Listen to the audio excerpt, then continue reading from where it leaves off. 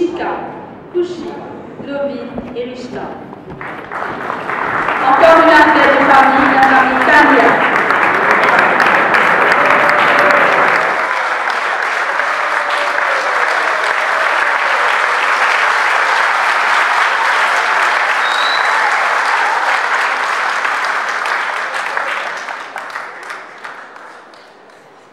Euh, en tant que mère euh, seule, euh, mes enfants, en fait, euh, c'est. Je suis fière d'eux. Je remercie Beachcomber et j'ai des enfants en Europe. C'est des enfants très, très disciplinés et c'est mon moteur. C'est mes moteurs, je vais dire. Je suis très fière parce que c'est des enfants qui se lèvent tôt.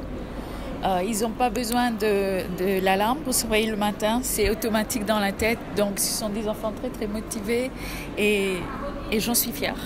Ben, est passé tout correct. Enfin, il y avait difficile, mais ça va comment ça maintenant, on apprend comment faire service, on apprend c'est facile, après on apprend la code, 20 minutes, ça là, comment servir client? Euh, ben, on va rester avec ça, mais je ne vais pas quitter une stage à cause de ça fait vite pour moi, parce que dans tout travail, on a même ça faire. Euh, ben, sentiment grand responsable et calme, calme débrouillé. On arrête d'école, là, enfin là, jusqu'à 14 ans, ça me suis au fond droit. Après, je préfère suivre un cours d'hôtellerie, mon passeport belge. Après, je me sélectionné pour un AP. Après, on nous dans MITD, parce que un TC2. Après, je me l'année prochaine un TC3. Donc, comment ça l'écrit Ouais, ouais, ouais, oui, j'arrête l'école à cause. Moi, je suis trop content d'apprendre. Mais. Quand je fais des affaires qui nous comptent vraiment, qu'à réussir. Ah, plus loin encore. Beaucoup plus loin. Peut-être une propriétaire d'hôtel, peut-être. Qu'à plus aussi. Un plusieurs hôtels. Au début, c'était un peu difficile. N'as pas tu n'as trop confiance en moi. Et au final, peu à peu, peu à peu, on apprend euh, comme d'affaires, confiance, comment il était, comment comme métier hôtellerie, tout ça là. Et que c'est grâce à M. Mila qui est aujourd'hui là et qui m'a remis ce certificat et aussi fier de moi et aussi fier de ma mère. Je suis toujours là pour moi. Je suis toujours là avec euh, mes soeurs, mes frères aussi. Et aujourd'hui, c'est mon cas, c'est qu'il y a un grand jour pour nous, pour mon frère. Il y un moment inoubliable. Il y a un certificat, travail et nous nous-mêmes.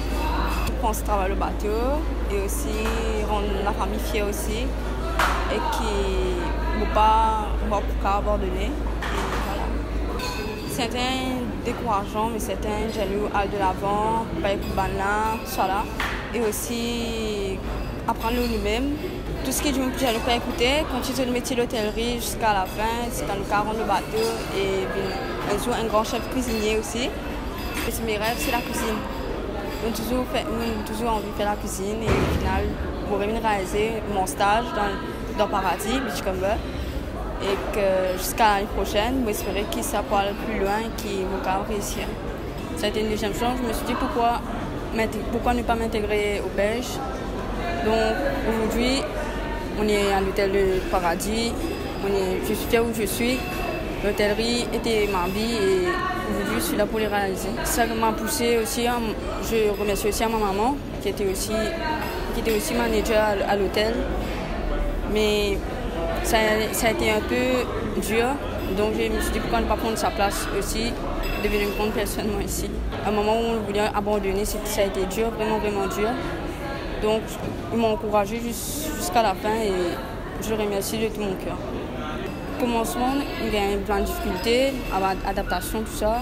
Puis, petit peu à petit peu, la timidité a commencé, la timidité l'équipe. Au début, tu, fais, tu fais faire comment peut pour aller envers client, faire un cocktail à l'envers client, causer tout ça. Puis il y a eu des gens qui m'ont soutenu, qui, ont, qui ont été là pour moi. Et je voulais les remercier vraiment beaucoup.